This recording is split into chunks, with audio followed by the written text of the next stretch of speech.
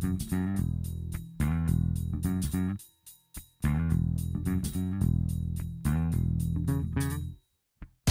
Viva, sejam bem-vindos ao Serviço Público Bloco de Notas.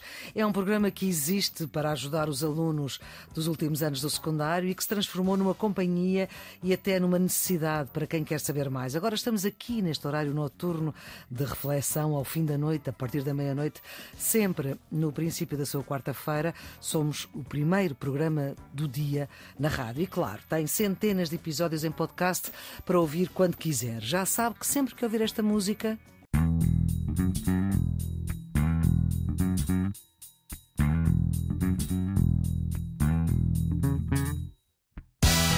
música para os nossos ouvidos está a ouvir o Serviço Público Bloco de Notas. E neste princípio de madrugada. Essas igrejas são todas olhadas como as igrejas protestantes. Por certo. José Vera Jardim é presidente da Comissão de Liberdade Religiosa. Porque vem, no fundo, todas elas são, de certo modo, filhas da Reforma, filhas da, filhas da Reforma de Lutero. A Igreja Anglicana tem uma história um pouco diferente, mas há grandes diferenças entre elas. Hum. Por exemplo, olha, uma questão interessante, o papel das mulheres nas igrejas. A Igreja Anglicana tem bispos, bispas, por exemplo. Uhum. A Igreja Luterana, idam. Mas, por exemplo, o grande ramo dos protestantes hoje em dia, os evangélicos, não aceitam as mulheres como pastoras. Estamos com José Vera Jardim, é presidente da Comissão de Liberdade Religiosa, que é um órgão de consulta do Parlamento e do Governo. Este é um cargo que José Vera Jardim ocupa desde 2016, sendo que é um dos principais responsáveis pelo texto da Lei da Liberdade Religiosa logo no princípio do século, em 2001, e que nasceu, talvez falemos sobre isso, que nasceu por causa de uma rua proibida onde não podia ir brincar. Uh, uh, nas Caldas da Rainha. Bom, uh, continuando ainda a falar, este sorriso, esta. Falhou-se esta, essa história. Bem, essa história é tem, é boa. Ela tem algum fundamento, tem algum fundamento. Mas... mas já lá vamos então. Foi deputado durante cinco legislaturas, mais de duas décadas, de 1987 a 2009, mas durante uma destas legislaturas foi Ministro da Justiça, de 95 a 99, no governo de António Guterres, no final do século passado. É advogado de profissão e ainda ainda mantém, já depois dos 80 passados, escritório montado. É um político agora retirado da vida política ativa. Logo a seguir, ao 25 de abril, foi secretário de Estado dos Governos Provisórios. Doutor Vera Jardim, agradeço muitíssimo a sua disponibilidade Nada. para ajudar os alunos que estão nos últimos anos do secundário, mas também quem quer saber mais e que ouve aqui a Antena 1 neste serviço público Bloco de Notas. Nós hoje vamos querer saber mais sobre religião e é precisamente por causa disso e por ser um perito nesta matéria que aqui está. Esta é uma matéria que é da história do 12 ano e 11 e décimo e da filosofia. Da filosofia. Vamos começar pelo princípio e depois seguimos por aí fora. Quais é que são as grandes religiões hoje? Como é que se Olha, podem antes, caracterizar? Antes de entrar nisso, deixe-me saudar a sua ideia de fazer um programa sobre esta matéria, porque é uma matéria que é bastante esquecida, muitas hum. vezes. E é tão importante, uh, não é? E eu acho que é muito importante, como vou procurar demonstrar. Claro que sim. E, portanto, saudá-la por esta ideia. Obrigada. Uh, mas já agora, olha, aproveito para anunciar, eu não conheço os manuais escolares hum. que são dados a esses anos que explicou, quer, quer de História, quer de Filosofia. Muito Sofia. resumidamente sobre esta matéria em História, o que se pede é saber contra a reforma, claro, o cisma sim, sim, sim. Uh, do Ocidente, um bocadinho a separação entre, entre a Igreja e o Estado Estado, a, a, Inquisição, a expulsão pois, dos judeus, pois, pois, e depois há uma, eh, em filosofia, o diálogo interreligioso, o sim, ecumenismo. Sim. Bem, quais são as grandes religiões do mundo? Perguntou-me você. Há muitas religiões no mundo. A primeira dificuldade é saber o que é uma religião, porque às vezes uhum. nós deparamos com Uh, religiões. Que, e depois há muitas correntes dentro da mesma. Dentro é? da mesma religião. A começar pelo, pelo cristianismo, não é? Claro. O cristianismo deu origem a uma que série é dominante de correntes. em Portugal. É a dominante em Portugal e no mundo. E no mundo. Hum. É a religião. É claro que estes números são sempre muito difíceis, porque claro. há países, por exemplo, nos Estados Unidos e em França, nos censos não, se, não há uma pergunta sobre religião. Qual é a sua religião? Em Portugal há uma pergunta, mas é de resposta não obrigatória. Portanto, e, portanto, os números são sempre cálculos, baseiam-se naturalmente nos censos, muitas vezes, baseiam-se em estudos de grandes institutos que se dedicam a esta matéria, desde logo o Pew Research Center, que é conhecido, enfim, mundialmente como um organismo que faz estudos de, sociais, de implantação de várias coisas no mundo e, e faz também das religiões. Tem uhum. Ora, quais são as grandes religiões do mundo? Bem, há, uma, há umas religiões que nós que são as religiões orientais, que são relativamente desconhecidas, no, o seu número de, de, Estamos a falar de que é do hinduísmo? Da China, não, não, não, não. O hinduísmo não. O hinduísmo Sim. nós conhecemos tão bem quanto possível. O hinduísmo é muito hum. complexo. Eu tenho procurado aprender com o meu colega representante da comunidade hindu na Comissão de Liberdade Religiosa. Já aprendi hum. algumas coisas, uhum.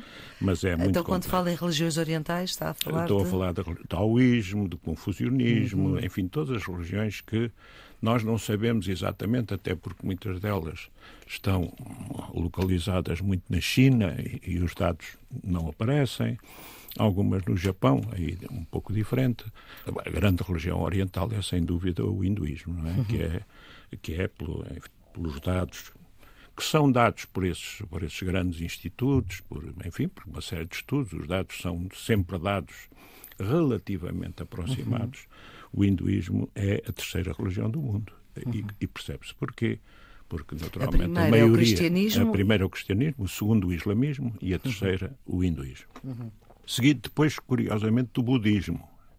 É uma coisa que pouca gente hum. saberá. O budismo, que tem origem também na, na Índia e nos, nos, territórios próximos que fazem fronteira com a Índia. Porquê é que elas são todas diferentes? Como é que nós as podemos caracterizar? Ah, são diferentes porque têm, uma, têm um início, têm uma origem uhum. diferente, bem diferente. O cristianismo não tem nada a ver com o hinduísmo não tem nada a ver com, com o islamismo, tem alguma coisa a ver. Sim. Tem alguma coisa a ver. Depois há o judaísmo, que é uma religião pequena, em uhum. número de, de, aderentes, mas que tem uma grande influência no mundo pelo, pelo, papel histórico que representou, desde logo, até na nascença das, das grandes das religiões. outras religiões, não é? Porque são as chamadas religiões do livro. Uhum. As religiões do livro. Ou seja, as religiões abraâmicas também se chama. Que vem de Abraão. O pai Abraão teria sido, uhum. digamos, o pai destas três grandes religiões que nós chamamos as religiões do livro: o cristianismo, o islamismo, o islão e o judaísmo. Mas o judaísmo é delas todas a mais antiga, obviamente. Destas Sim, claro. três. Porque destas todas três, nascem daí, não é? Porque todas nascem da, do, dos livros sagrados do judaísmo, designadamente da Bíblia, do Antigo Testamento. Não é? E depois há o Novo Testamento, como é sabido, que é, que é o testamento dos cristãos. Mas para os cristãos, de um modo geral, o livro sagrado é a Bíblia. Hum. E aqui há depois, dentro dos cristãos, várias leituras, porque a Igreja Católica tem uma perspectiva, eh, digamos, de que quem ensina a Bíblia, quem, quem, quem interpreta a Bíblia, deve ser, digamos, o clero. E muito do protestantismo vem precisamente da leitura livre da Bíblia, da leitura acessível a todos os, a todos os crentes. E é? o protestantismo é filho da Contra-Reforma, não é? É filho da Contra-Reforma. Estiveram juntos, mas depois houve um cisma. Juntos, estiveram juntos. Houve uma separação. Não, o primeiro movimento é um, é um movimento luterano. É um movimento Sim. Lutero, em Wittgenstein, uma pequena cidade no norte da Alemanha. E Lutero rebelou-se. Lutero não era um sacerdote católico, era um monge, mas rebelou-se contra a Igreja. Estamos a falar do século XVI. Estamos a falar do século XVI. Lutero rebelou-se contra a Igreja, não foi o único. Na altura houve vários movimentos uh, simultâneos, Calvino e outros movimentos simultâneos de rebelião contra a Igreja Católica. A Igreja já atravessava na altura, e por isso também a Contra-Reforma depois atravessava na altura uma crise de não direi de identidade, mas uh, havia, sobretudo, a, a venda da, da, salvação. E, portanto, foi contra isso que Lutero, sobretudo. Lutou. Mas também há razões políticas. Lutero foi uhum. apoiado pelos príncipes alemães em revolta contra o imperador. Portanto, há aí sempre às vezes, neste, no nascimento destas religiões, há, há, razões políticas. Olha, o anglicanismo, já podemos talvez falar, falar um pouco do anglicanismo. Altura, Como é que nasce o anglicanismo? o anglicanismo? Nós gravamos esta conversa no dia em que Isabel II exatamente, uh, exatamente. é enterrada, que se diz que fundo. é chefe da igreja, da igreja anglicana, é, é Por chamada, causa de Henrique VIII. É, é chamada a governadora chefe propriamente dito, o chefe clerical, não é, não é obviamente a, a rainha, a, a, rainha ou o rei, consoante, agora uhum. o rei, não é verdade? Sim. Uh, mas sim o arcebispo de Cantuária, esse é que é o chefe da Igreja Anglicana, digamos, uhum. o chefe religioso da Igreja Anglicana. Mas a rainha tem o título de governadora geral da Igreja. É ela que nomeia os bispos anglicanos, sob proposta do governo inglês, que é uma coisa para nós. Já lá iremos quando falarmos das igrejas oficiais, das igrejas de Estado. Falou há bocado da separação entre a igreja e o Estado. Sim. Mas há igrejas oficiais Sim. dos Estados, ah. na própria Europa. Exato. Na própria Europa. Não muitas, três ou quatro. Mas, certo, mas, mas vamos há... continuar aqui.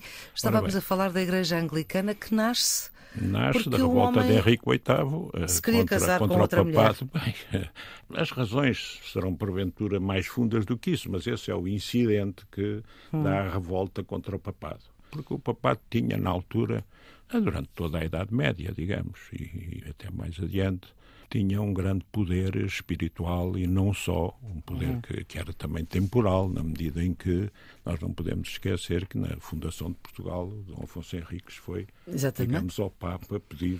A... Se não fosse o Papa, não havia Portugal naquela altura. Pois, a não ser que houvesse uma revolta, mas era muito difícil, porque claro. havia realmente uma direção espiritual eh, da Igreja, mas que também era simultaneamente uma direção temporal. Havia aí uma, uma mistura uhum. muito grande que, felizmente, hoje com a modernidade praticamente se afastou.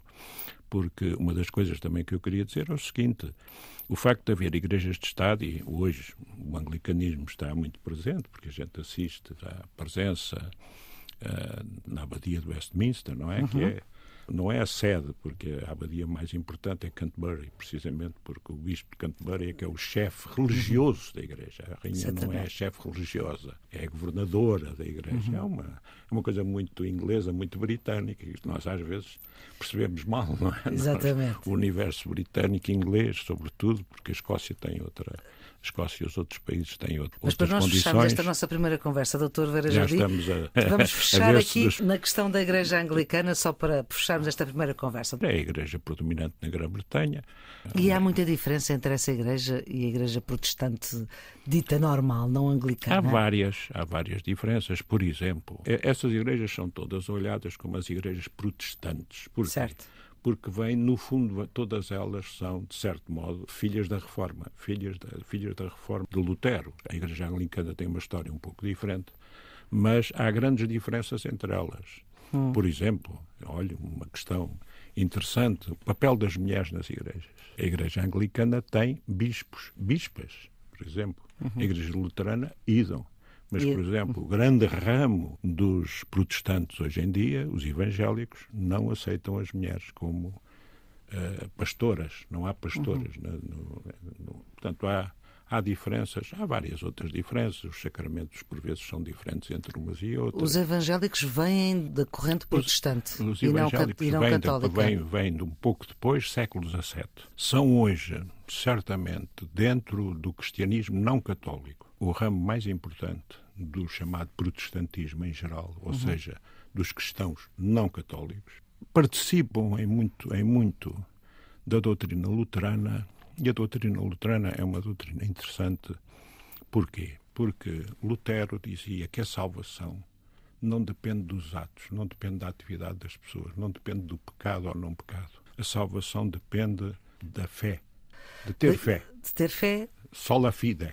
Eh, aliás, tinha várias, várias expressões para, no fundo, caracterizar a reforma luterana. E uma delas era: quem tiver fé, salva-se. Uma coisa muito interessante e que separa bastante o mundo católico do mundo protestante é como olham a Bíblia. Uhum.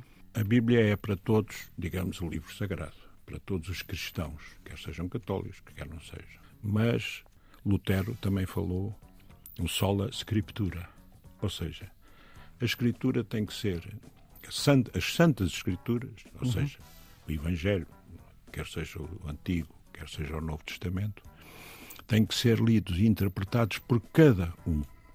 Uhum. Ou seja, de certo modo, deixa de haver um intermediário que diga o que é o Evangelho, o que é o significado do Evangelho, não o que é o Evangelho, porque o Evangelho uhum. está escrito, não é? Sim. E, portanto, essa é grande, uma das grandes reformas eh, de Lutero e que depois tem uma expressão em todo o mundo chamado protestante.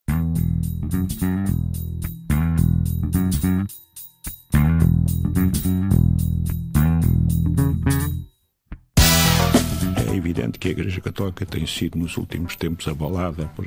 José Vera Jardim é presidente da Comissão de Liberdade Religiosa. Vários acontecimentos que não têm favorecido, uhum. naturalmente, o seu crescimento, sobretudo na Europa e talvez nos Estados Unidos, acontecimentos que sabemos quais são, não é? Uhum. São acontecimentos dolorosos para a própria Igreja, como é óbvio. Os tais 3% de que fala o Papa de pedofilia e de escândalos. Pois, são, são coisas realmente. Uhum. não são atrativas. As claro. pessoas, efetivamente, quando pensam na Igreja Católica, muitos deles, naturalmente, tendem a afastar-se por, por, por, causa, causa desses. Embora, também devo dizer, Uh, também não, não acredito, e além disso tenho elementos que esses, que esses acontecimentos aconteçam apenas na Igreja Católica. Claro. Esses acontecimentos acontecem quando há relações de poder muito próximas, que é uhum. o caso das religiões, não é? Sim. Mas não só. Qual é que é a diferença entre luteranos e calvinistas? Há muita diferença? Há algumas diferenças, há algumas diferenças, mas não são, não são substanciais. Hum. O calvinismo tem uma doutrina mais ligada à prosperidade, ao trabalho, à, à austeridade, etc. Hum. Uh, Lutero nem por isso. Uh, e, portanto, uh, o calvinismo está hoje presente em vários países, na Suíça, na Holanda, etc., em vários países, mas é naturalmente uma uma doutrina muito minoritária dentro hum. do protestantismo. Uh, o luteranismo, apesar de tudo, foi o que vingou mais e e abrangeu não só a Alemanha, julga-se que o luteranismo existe apenas na Alemanha, não, existe praticamente nos países nórdicos todos. O grande hum. país do luteranismo, nas guerras religiosas que se seguiram, infelizmente, também houve guerras religiosas terríveis no século XVI.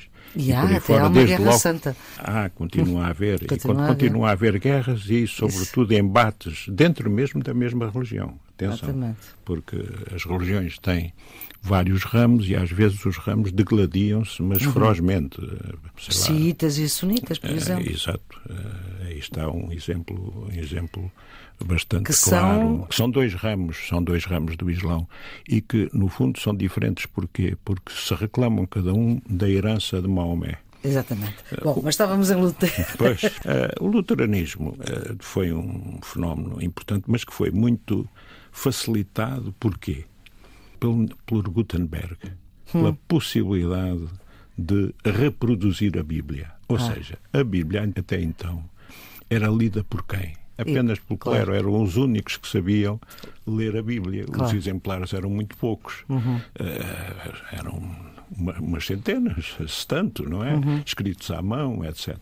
O que é que, qual foi um dos grandes elementos que possibilitou a difusão, digamos, é? a difusão da Bíblia? Foi a invenção da escrita. Gutenberg, que é a invenção do, da escrita prensada. Da escrita, da escrita da prensada, imprensa. da escrita que pode ser divulgada Exatamente. por milhões e milhões de pessoas. Uhum. E, claro que no início não foi por milhões de pessoas, claro. como é óbvio, mas é isso que permite essa tal sola escritura, ou seja, fazer acessível a todos os fiéis a leitura da Bíblia, uhum. a interpretação da Bíblia e seguir os ensinamentos da Bíblia. Uhum. E, portanto, enquanto o catolicismo tem uma visão diversa, naturalmente o catolicismo também aconselha a leitura dos Evangelhos, da Bíblia, uhum. tudo isso.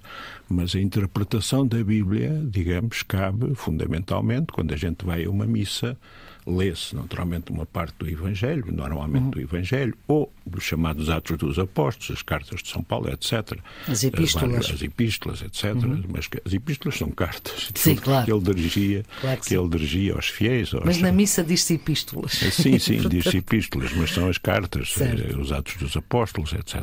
Mas, portanto, é o, é o sacerdote, não é? Que Interpreta. vai interpretar. Naturalmente, essa é a interpretação fiel, ao passo que no luteranismo e em quase todas as, as, as denominações, como se diz em linguagem religiosa, as várias denominações uhum. das confissões protestantes, há uma ligação direta entre a pessoa e o texto sagrado, o que permite que também haja muitas diferenças dentro do chamado protestantismo. Uhum. Por exemplo, os evangélicos, uh, que nasceram depois, mas se revêem de certa forma em Lutero, os evangélicos têm uma leitura bastante mais tradicional, literal da Bíblia uhum. do que Lutero. E talvez por isso também tenham as diferenças que têm com o uhum. luteranismo, embora eles Talvez por isso revejam... as mulheres tenham menos importância. Uh, sim, será porventura uma uhum. das coisas, será porventura uma das razões. Porque os evangélicos não permitem realmente, ao contrário dos luteranos, a Igreja Luterana Alemã já foi dirigida por uma mulher. Eu suponho que já não é, agora já há uma outra pessoa, mas já foi dirigida por uma mulher. E, portanto, há pastores e pastoras. Eu já uhum. assisti a cerimónias luteranas na Alemanha e, portanto, e há pastores e há pastores. Mas no evangelismo não há. O evangelismo é, uma, é hoje uma religião importante, é, é o ramo mais presente de, uhum. de, todas estas igrejas que se reclamam da herança de Lutero. Lutero está no início, digamos, de todas estas igrejas. Aquilo que a gente chama o protestantismo, que é o protesto, digamos, contra contra a, a Igreja Católica, contra tudo que a Igreja, as indulgências, tudo isso. Lutero foi a Roma para tentar uhum. falar com o Papa. O luteranismo também tem que ver com razões políticas, mas que têm menos interesse para o que estamos a falar. Uhum. E, portanto, sendo o cristianismo a primeira religião do mundo, ela divide-se depois numa série de ramos, de denominações, a principal das quais continua a ser o catolicismo, uhum.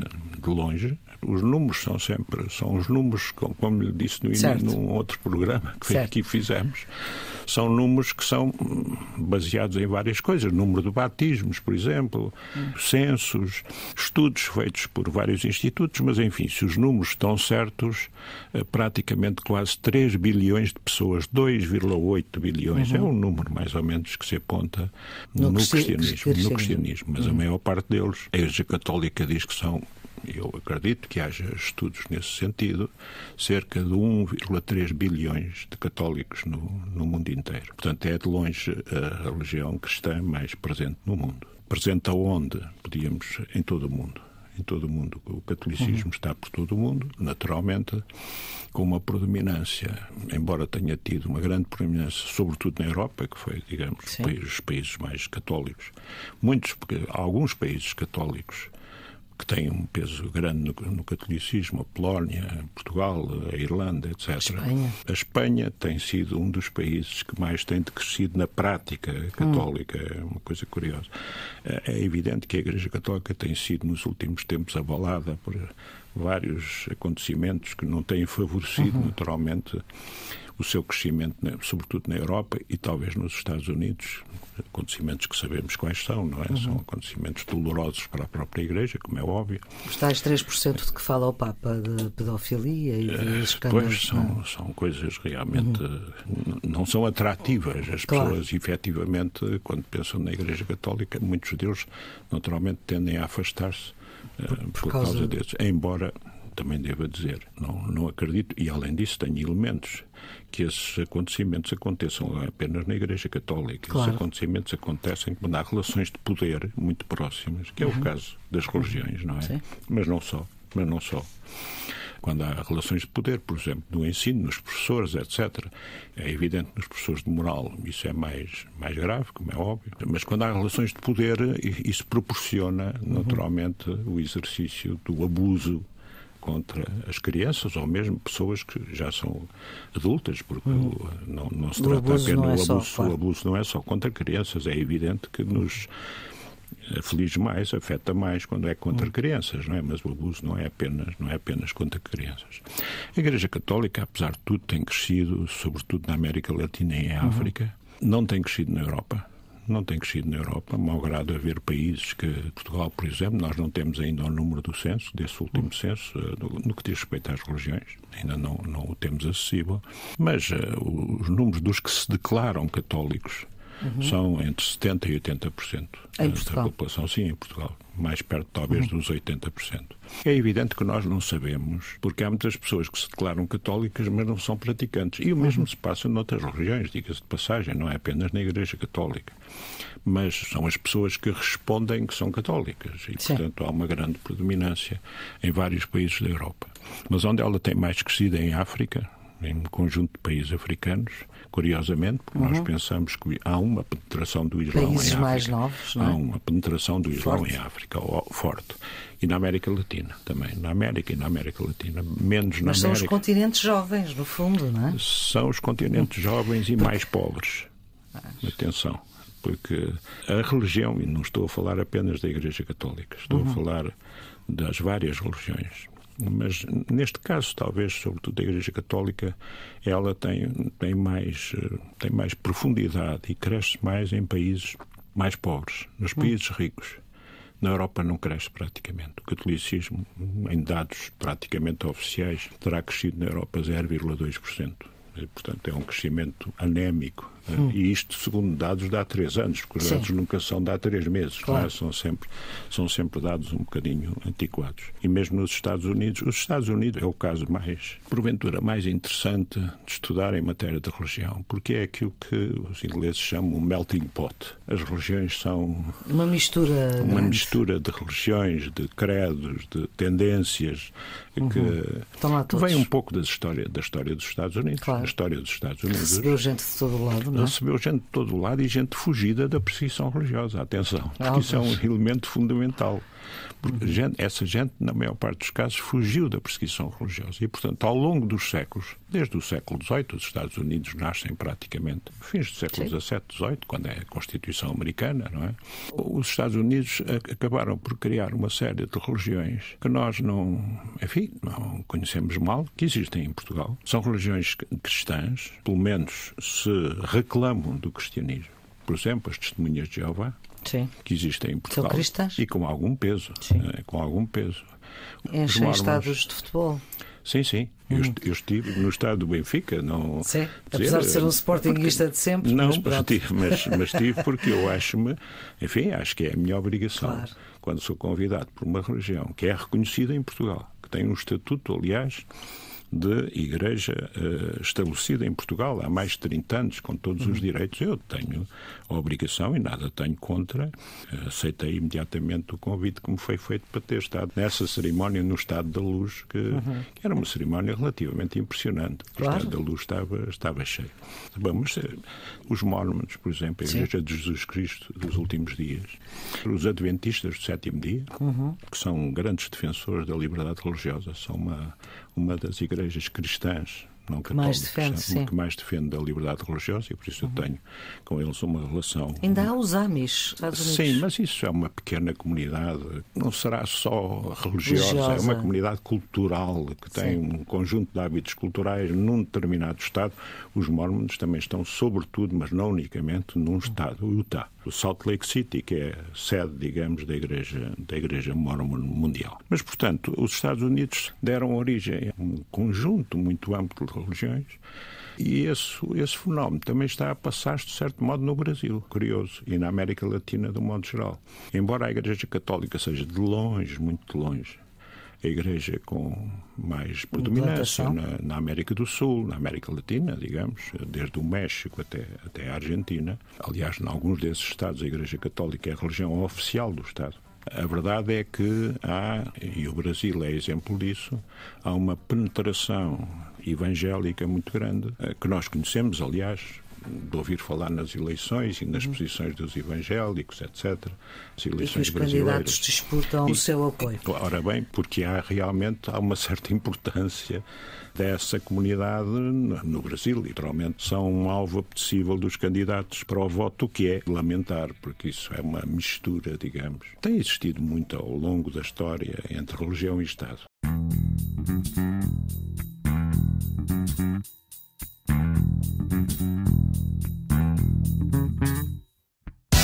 Princípio da separação é um princípio da modernidade que vem do iluminismo, vem da Revolução Francesa, vem da Revolução Americana, antes hum. da Francesa. José Vera Jardim é presidente da Comissão de Liberdade Religiosa. A Revolução Americana foi a que disse que não há, não há religião oficial. Eh, nem podia haver nos Estados Unidos, também diga-se de hum. passagem, porque nessa altura já havia nos Estados Unidos uma série de denominações e não seria aceitável, digamos, que houvesse uma religião de Estado nos Estados Unidos. Era uhum. impossível. Embora tudo isto depois tem alguns incidentes de percurso que nos levam a dizer o dólar tem lá In God We Trust, Trust. não é?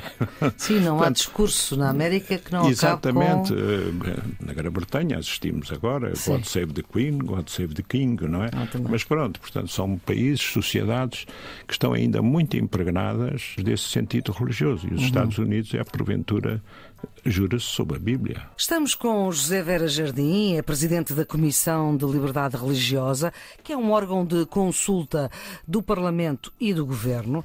Este é um cargo que José Vera Jardim ocupa desde 2016, sendo que é um dos principais responsáveis pelo texto da Lei da Liberdade Religiosa, logo no princípio do século, em 2001. Foi deputado durante cinco legislaturas, mais de duas décadas, de 1987 a 2009 mas durante uma destas legislaturas foi Ministro da Justiça, de 95 a 99, no governo de António Guterres, no final do século passado.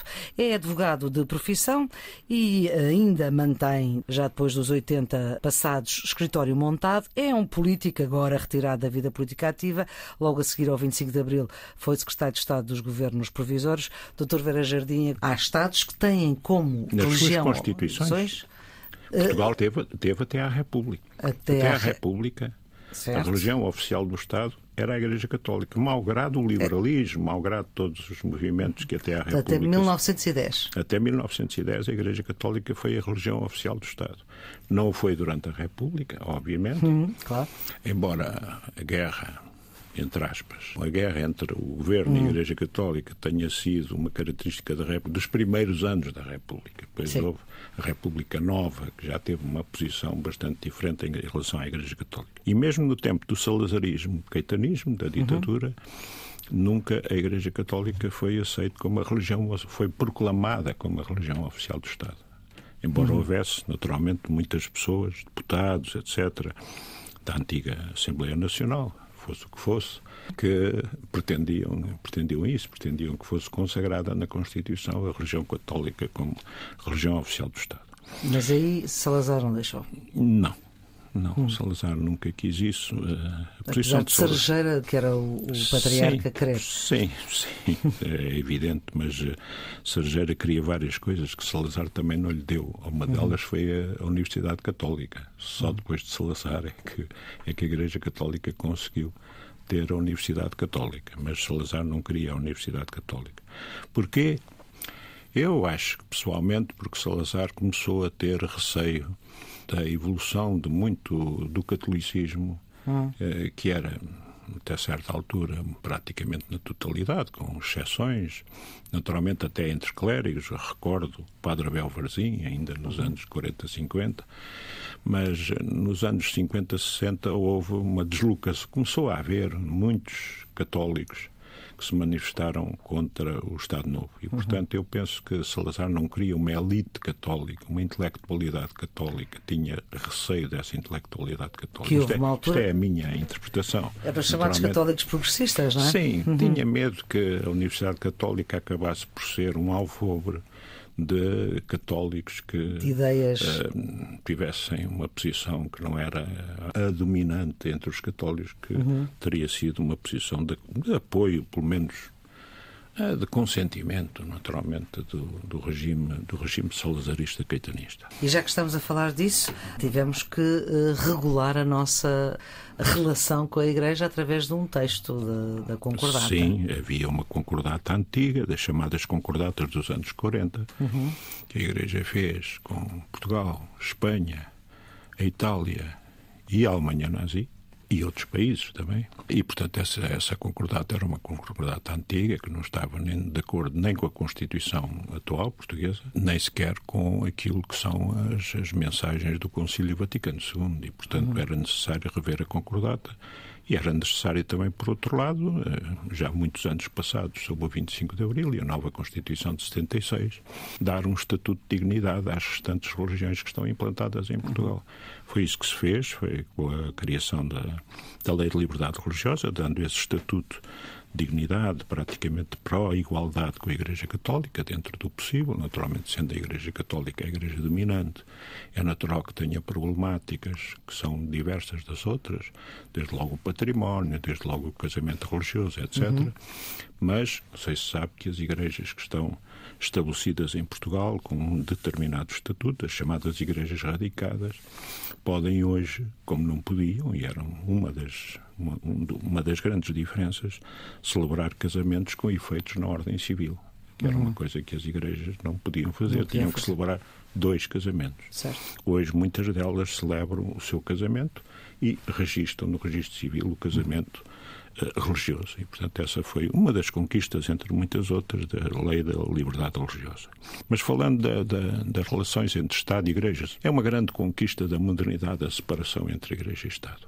É mesmo uma das grandes conquistas. E a Igreja aceitou. A Igreja aceitou no Vaticano II e continua a aceitá-lo. A Igreja percebe que não tem, não tem nenhum interesse em estar ligada, digamos, ao Estado. E o Estado percebe também que tem que, que uma coisa é o reino de César, outra uhum. coisa é o reino de Deus. Uhum. E, portanto, essa foi uma conquista. A César o que é de César. Exatamente. A Deus, é Deus o que é, o que é de Deus. E, portanto, esse princípio da separação é hoje um princípio praticamente universal. Mesmo nas igrejas, ou mesmo nos países que têm uma, uma igreja oficial, oficial isso não significa que haja menos liberdade religiosa quer dizer, e que as outras igrejas não sejam reconhecidas uhum. e não tenham os seus direitos. Mas quais são os países hoje, na Europa, quais são os países hoje? A Grã-Bretanha, a Grécia, que têm a Dinamarca. A religião oficial. na lei. Sim, uhum. na lei. Que eu, que eu me recordo são essas três. Grã-Bretanha, Grécia, Dinamarca. Grécia, Dinamarca. A Grécia é a Igreja Ortodoxa. Sim. Que é outro ramo que é outro ramo do cristianismo. Obviamente, cristianismo. esse ramo do cristianismo vem do grande cisma que houve entre Roma e Constantinopla. Com a queda de Roma, enfim, a história é complexa, é complicada. Uhum. Dá-se naturalmente a emergência da Igreja Ortodoxa com sede em Constantinopla, continua a ser, ainda hoje. Constantinopla, embora, que é Istambul. Que é, sim, que hoje é Istambul. Que hoje é Istambul, que hoje, Turquia. Uh, que hoje é um Estado, ou melhor, uma sociedade islâmica uhum. e, e, um Estado islâmico, embora a partir da Revolução uh, da Ataturk uh, em 1923 houvesse, houvesse, digamos, essa divisão entre Igreja e Estado, mas na situação atual isso não é não, tão visível. Já é, foi mais, é já foi visível. mais. É? Infelizmente não é tão hum. visível. Mas, portanto, mesmo nesses, nesses países, poder-se-á dizer eu, obviamente, que acho que os Estados deviam fazer um caminho para, digamos, as suas constituições não proclamarem nenhuma igreja como a igreja oficial do Estado. Hum. Mas dir-se-á, nesses países não há liberdade religiosa, é evidente que há. É evidente que há. Agora, é Nesses três que, que estamos a falar, sim. Esses três que estamos a falar. Da Grã-Bretanha, a, a, Grécia, Grécia e Dinamarca. A Grécia já teve problemas. Pois. Porque a Grécia tinha uma, uma visão de que as pessoas das outras religiões que fizessem proselitismo poderiam ser condenadas. Chegaram uhum. a ser condenadas. O Tribunal Europeu dos Direitos do Homem revogou essas decisões. Uhum. E a Grécia tem feito um caminho para aceitar, aceitar as outras religiões, mas perseguir algumas por, por proselitismo. Há religiões muito prosélitas, falámos há um bocado das testemunhas de Jeová, é um uhum. exemplo típico, uhum. mas de um modo geral os evangélicos têm também uma tendência, enfim, faz parte da sua religião, quer dizer, uhum. convencer outro a aderir àquilo que julgam que é o bem, que é a salvação das pessoas. Bom, e portanto, eh, aliás, a, a lei da liberdade religiosa e a Constituição permitem entre nós que as pessoas façam eu não queria chamar-lhe propaganda, mas falta-me agora um termo melhor. A evangelização? É, sim, Hum. A evangelização está muito ligada, está muito ligado ao Evangelho, não é? mas que, mas que possam Passem tentar... a palavra, não é? Sim, que com... Sim. procurem convencer outro que a verdade Traz está deste também, lado, é? está deste lado e a tua salvação está aqui. E, portanto, hum. há várias religiões que têm essa essa tendência, os evangélicos, as testemunhas de Jeová, e, de um modo geral, todas as religiões, toda a pessoa que é profundamente religiosa, eu tenho, tenho, amigos que são profundamente religiosos e que estão noutras religiões e que muitas vezes me tentam convencer que a sua religião. Eu não, não acho mal nisso, quer dizer, é como a gente discutir alguma coisa da cultura e dizer: olha, a minha cultura é melhor que a tua. A minha religião aqui é mais sério, porque a salvação está muitas vezes na, na religião, embora muitas religiões não, não afirmem de um modo definitivo que só, só a sua igreja salva. Hum. É mesmo bastante rara a religião que o diz. A própria hum. Igreja Católica não diz que só a, só a Igreja Católica é que salva. Não, não, não é isso. Que a Igreja Católica é o caminho, que é o caminho para chegar a Deus. Uhum. É, mas, mas não. Para quem tem fé. Sim, e que se deve ter fé. Porque naturalmente uhum. as pessoas. Eh, mas a, a verdade é que, como já vimos noutros programas, a religião é um pouco esquecida hoje em uhum. dia, sobretudo na Europa, mas a verdade é que dos 7 mil milhões e tal de pessoas que existem no mundo, cerca de 6 mil milhões declaram ter uma religião. Ou seja, a religião ainda assume no mundo uma importância muito grande. Bom, mas estávamos a falar da, da, da, separação. O princípio da separação, o princípio da modernidade, que vem do iluminismo, vem da Revolução Francesa, vem da Revolução Americana, antes hum, da Francesa. Exatamente. A Revolução Americana foi a que disse que não há, não há religião oficial.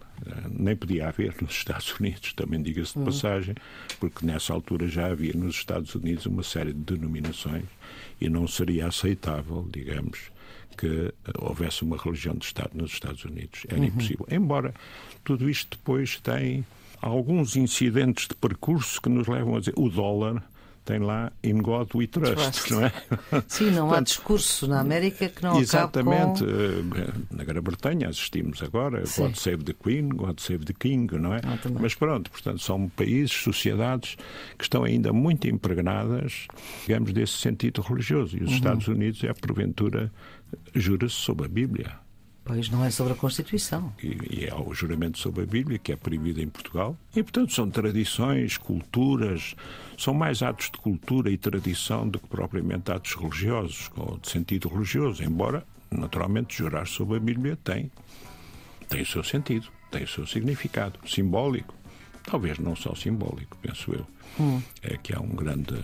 Na, na sociedade americana está muito espalhada, digamos, a ideia de que in God we trust, quer dizer, que Deus está lá e está a julgar-nos, uhum. está a olhar por nós, etc. Isso é uma coisa muito, muito americana na própria moeda americana vem escrito In God We Trust. Ninguém se lembrou de fazer o mesmo no euro. Doutor Vera Jardim, muito obrigada por este Não. seu contributo para o Serviço Público Bloco de Notas, que é um programa que ajuda quem está nos últimos anos do secundário, mas também quem quer saber mais. A produção é Diana Fernandes, os cuidados de emissão de Fábio Ribeiro, com a ideia a edição de Maria Flor Pedroso. E já sabe, sempre que ouvir esta música.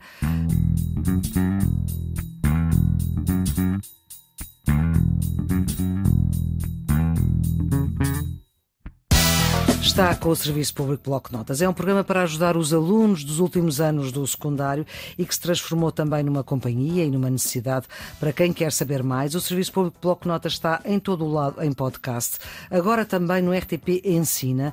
Temos centenas de episódios sobre quase todas as matérias e o Serviço Público Bloco Notas aparece quando um dia acaba e outro começa. Até para a semana. フフフフ。